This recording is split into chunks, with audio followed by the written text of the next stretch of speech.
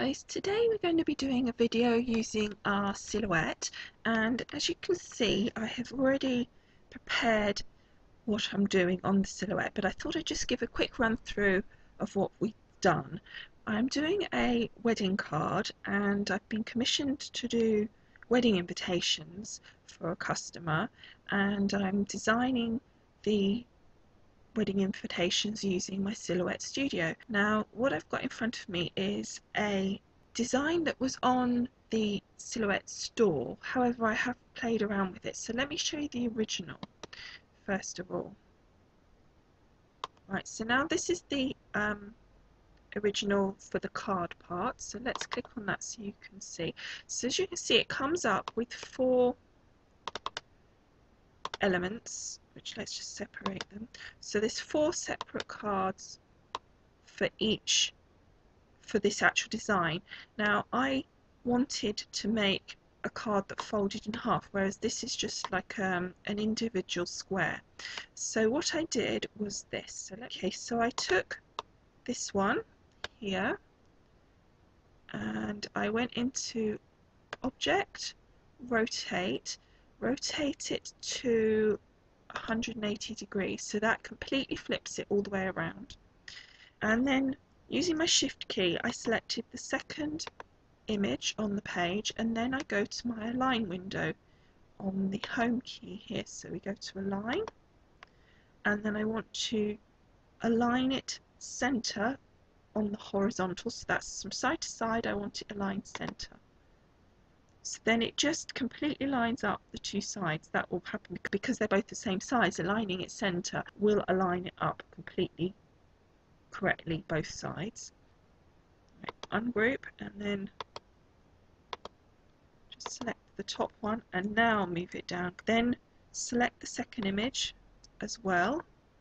Just use your shift um, key and click on each image individually or just draw a box around both and then weld and there we go. So now our image is welded together.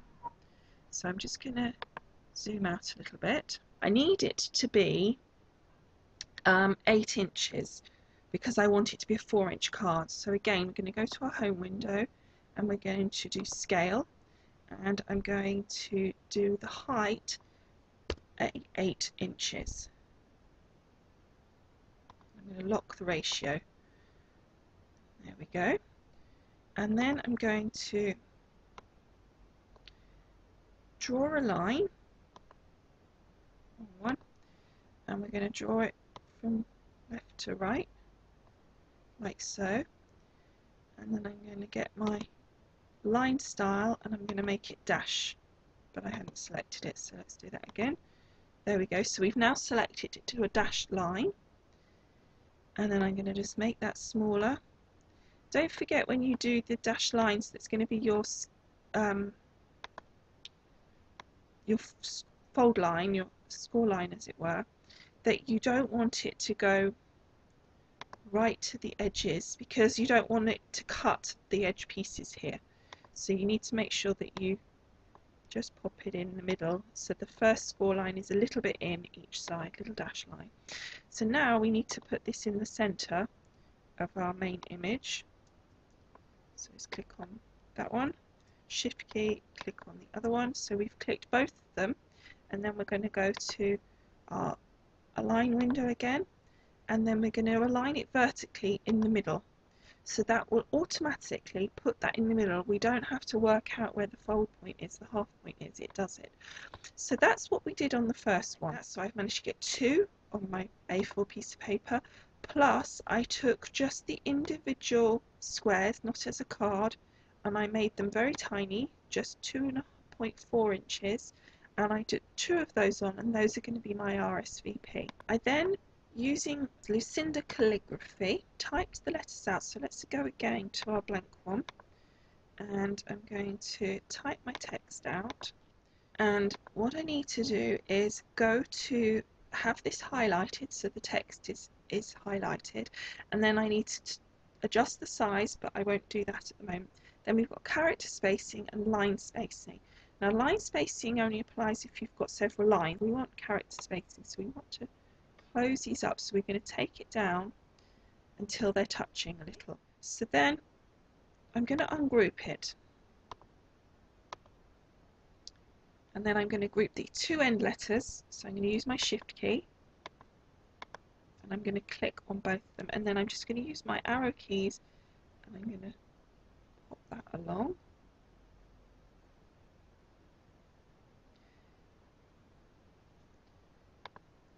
So basically you carry on fiddling around and it takes some time fiddling and then you select it all, group and weld it. But as you can see here,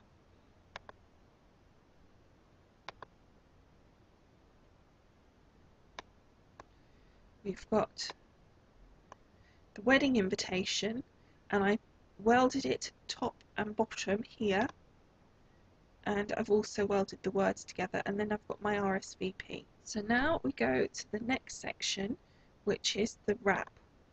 And what I wanted was like a vellum wrap to go around my card.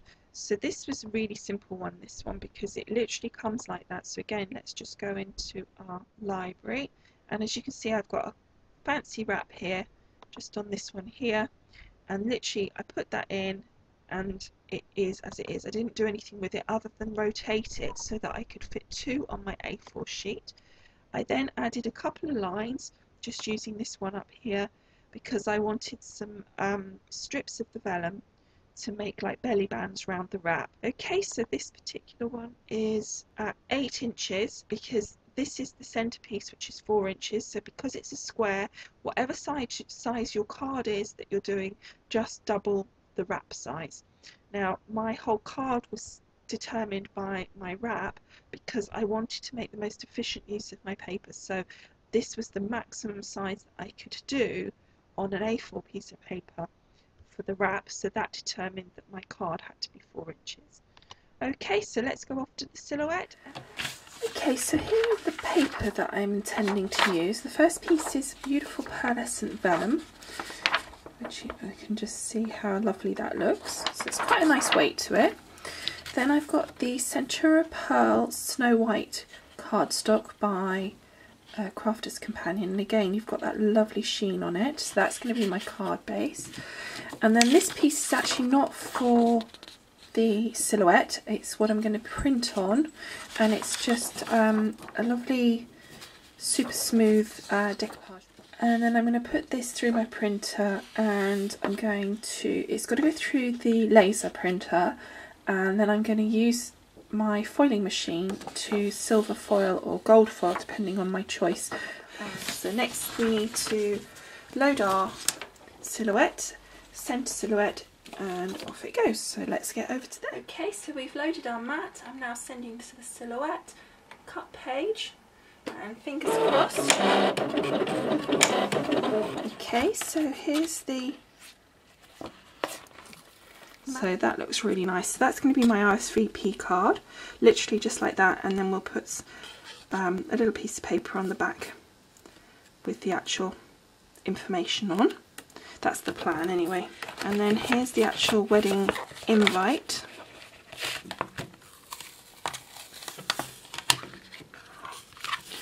Again, just using the tool because of the detail and it being quite a new mat, I don't want to risk doing anything that I shouldn't. So then we've got our little score marks down the centre there. So that's looking really nice, really. And now just getting my hook. And very carefully pulling up my letters. And there we go. Okay so there's the RSVP so that's come up really nicely. Pleased with that. So pop that down. Get the second one. Well actually before I get the second one I'm dying to see the wedding invitation. So let's pop this one up and there is the wedding invitation so I'm pleased with that as well Okay, so now I'm going to peel the others off and we'll try and start putting this sample together. Okay. okay, so this one is going on this card and as you can see what will happen is it kind of almost looks like embossing because it's the same colour on there. It gives a really nice effect overall. And then we've got the little RSVP just to go on this single card. Okay, so we'll sort those out in a minute because I don't want to position the um, wedding invitation uh, sentiment cutout that we've just done until I've done the next section of the card. So we're going to put those to one side and we're going to cut out our next part on our silhouette. And that is going to be using this beautiful vellum. Okay, so that's cut that all out and you can just about see it. So let's now peel this off now. There we go. Isn't that pretty? Beautiful. And it's got the fold lines here as well for us, so that's really so good. back at the table, we've done our foiling, so fingers crossed it's all worked okay. You can always put it through again, so it's not like the end of the world if there's a little bit missing. Okay.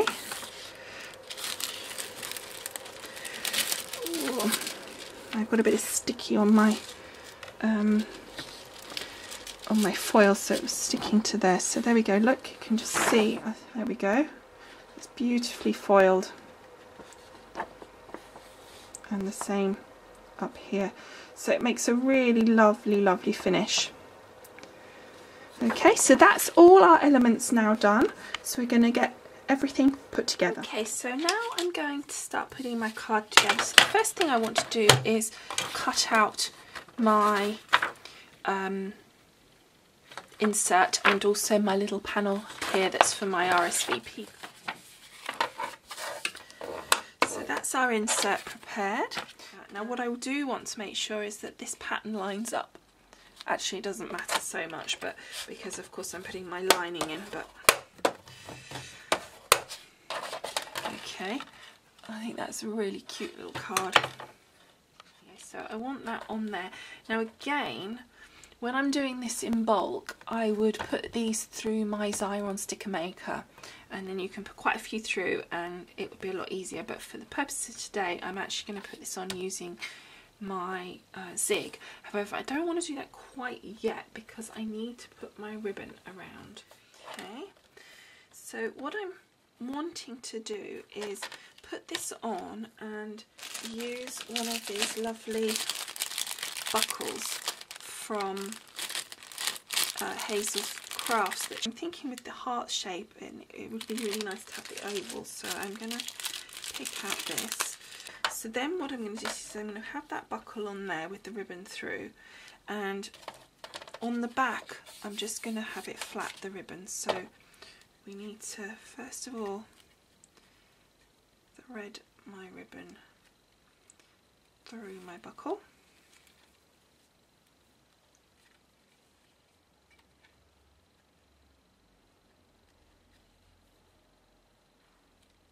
seeing there doesn't seem to be a side so that's fine. Okay. So you can see. And again that's just quite simple to do. Adds just that little bit of something. A little bit of sparkle.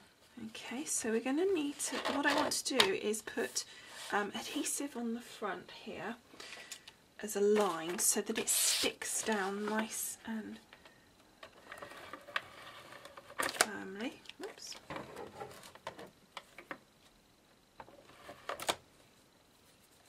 And as well, I want to put it on the back. It's going to stick to my table a little bit now. There's nothing I can do about that. Oh, gosh, stuck a bit stronger than I expected. Okay, so then we're going to position my buckle.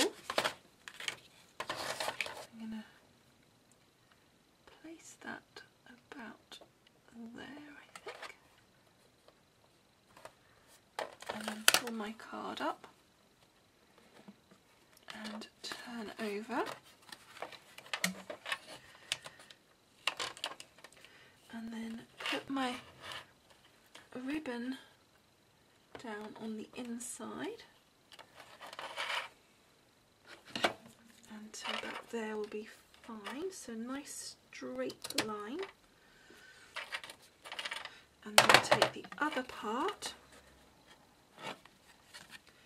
I just need to adjust that slightly. Like so and then take this other part and then take it up to the point and just slightly overlap. And again cut it nice and neat because we want that's not going to show very much because of our insert but it might show a little bit. So it's make sure it's nice and neat. And then using a little glue runner I'm just going to put a little bit of adhesive just a little bit of adhesive on there and then if it does make it go a bit at the edge just snip that off again. And then you see it's it's quite neat at the back even though you've got that line it doesn't look too bad. It looks worse in in the camera than it does by eye because the light's catching all the bumps. And then we've got our lovely buckle and ribbon on the front. So next we want to put our wedding invitation on.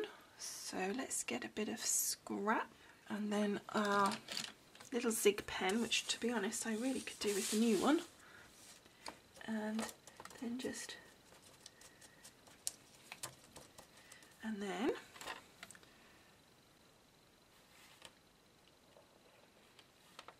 making sure this is nice and straight. I'm just going to turn it towards me because I can't see.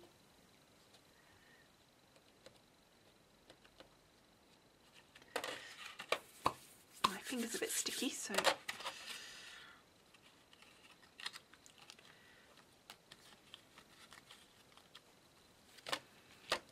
And again you see if I was using my um, Xyron it would be a lot simpler to stick down. There wouldn't be any of this sticky wet glue. And then what I tend to do is I take my piece of paper and then I just use that and rub over the top because if you do it with your hand you catch it and you can rub it and knock it off. But if you do it with a piece of card or a piece of paper one it absorbs any excess glue usually if you're lucky. And two you're not going to catch any of it. You're just going to be pressing it all down nice and flat don't leave it too long like I've done in the past because then if you're not careful your actual piece of paper then sticks to your thing that you're trying to stick down so that's the front of the card. Now, I want to leave it quite simple like this. Um, I think we could add a few little gems or extra gems or something like that if, if the necessary but at the moment I'm going to leave that well alone so now I need my insert and that's going to sit in like so but no, I think I think I like that as it is because the outside of the card is going to be quite elaborate. So now let's get on to that part of it. So now we need to score or carefully fold actually on the lines. So there are score marks, so if you're very careful, you can just follow those.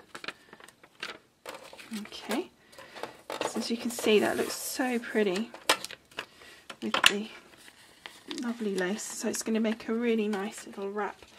Hopefully, fingers crossed that it actually fits.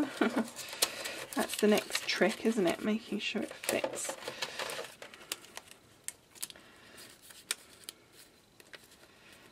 Okay, so that looks good. I'm now thinking, because I found this lovely tulle, that I might just tie it with the tulle and then just put some adhesive at the back here to put the tulle around and then tie like a knot or a bow rather. Okay, so that's the invitation part done. So now we just need to do the RSVP. So we'll put that to one side then take our RSVP card and again we're going to just attach this using our glue gel okay I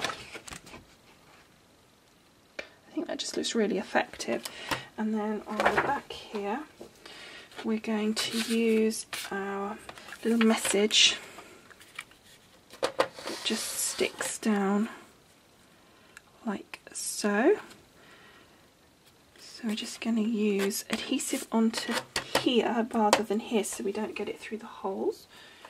There we go. So that's just so that it can fill it in and again it's foiled to say that they accept or not and then there'll be an envelope with a return address on it of course. And I think on this one we need to put maybe a few gems just to bling it up a little bit. Okay, so I've got just a pack of rhinestones And we've got some little heart gems, but I'm actually going to use this round ones, I think, because if I put the heart ones on and then I can't find them again, that would be very disappointing. so that's our SVP card, and that will go within a little envelope just at the back, and then all in one um, hopefully one 5 inch envelope. And this will flatten down quite not too bad so it shouldn't be too thick. But if that's too fat for what she wants, then we can always change that for a different type of ribbon. Okay, I just did a quick um, second belly band design and I just did the same belly band, exactly the same, but I put a little butterfly on instead of the bow. So we've got the two now, just as a different choice. Okay, so that's the cards made. I hope you've enjoyed watching this with me. Do be sure to go across to the blog post that goes with this card because the finished invitations were completely different to what we've got here. And I've got pictures and photographs of that and some other samples that I made as well. So I hope you've enjoyed it. Thanks for watching. Do leave comments and I'll see you again soon. Bye!